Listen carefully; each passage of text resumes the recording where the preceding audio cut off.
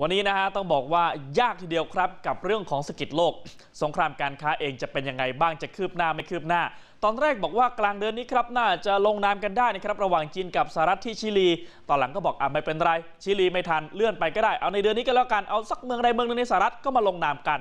กลายเป็นว่าล่าสุดนะครับอาจจะคุยกันไม่รู้เรื่องอีกแล้ว เพราะว่าฝั่งหนึ่งก็บอกอยากได้แบบนี้อีกฝั่งหนึ่งก็ลังเลถ้าเกิดจะให้ไปจะเป็นยังไงบ้าง เพราะแน่นอนว่าเรื่องนี้ส่งผลกระทบครับกับประชากรในประเทศแน่นอน ถ้าเกิดว่าให้ไปมากๆเนี่ยแล้วไม่มีกำแพงหรือไม่มีการดูแลเลยนะครับอาจจะไปกระทบกับบางภาคอุตสาหกรรมหรือว่า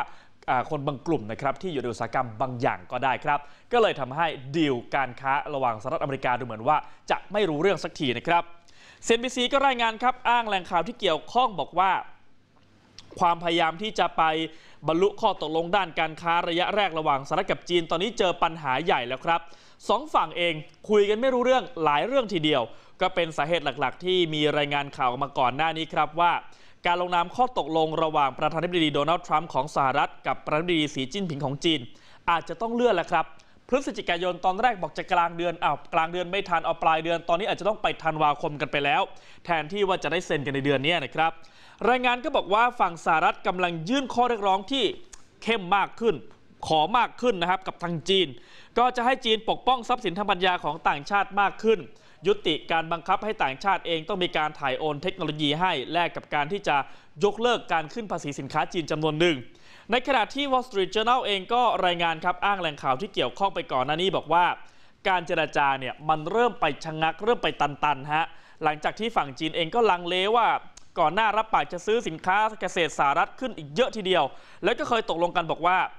จะซื้อสินค้าเกษตรจากสหรัฐรวมกันนะครับประมาณ 50,000 ล้านดอลลาร์สหรัฐต่อปี ก็จะเป็นส่วนหนึ่งที่บรรจุในข้อตกลงการค้าเฟสแรก คือตอนแรกคุยไว้เยอะไงฮะ ตอนหลังเอ๊ะจะเปิดดีจะเปิดยังไงเปิดกันมากขนาดนี้เลยหรือเปล่า ก็เลยอาจจะตันๆกันไปซึ่ง r a r y c u t l o w ครับที่ปรึกษาด้านเศรษฐกิจของทำเนียบขาวก็เปิดเผยกับ CNBC บอกว่า จะไม่มีการเปลี่ยนแปลงอะไรเลยนะ ในเรื่องภาษีนะครับจนกว่าจะมีการบรรลุข้อตกลงกับจีนได้ แล้วก็ยืนยันว่า2ฝ่ายเองมีความคืบหน้าที่ดีในการเจรจาเรื่องทรัพย์สินทางปัญญา บริการทางการเงินเสถียรภาพค่าเงิน สินค้าเกษตร แล้วก็โภคภัณฑ์ฮะ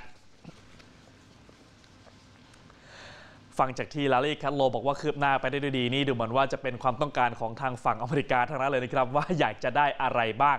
แต่ว่าทางจีนเองเขาถ้าได้มีการลดกำแพงภาษีก็น่าจะพอใจกันในระดับหนึ่งนะครับ แต่ว่าถ้าเกิดจะรุกมากจนเกินไปเอาสินค้าเกษตรเข้าไปมากเกินไปเนี่ยต้องบอกว่าเกษตรกรนะเป็นกลุ่มที่ต้องดูแลกันคือในทุกประเทศแหละเพราะว่าเรียกว่าเป็นการแข่งขันกันที่ต้นทุนเลยนะครับอันนี้อาจจะต้องดูแลกันดีๆ ถ้าเกิดว่ามีผลกระทบกับเกษตรกรเนี่ยอาจจะเป็นคนกลุ่มมากทีเดียวแล้ว เรียกว่าอาจจะมีความไม่พอใจเกิดขึ้นก็ได้ครับ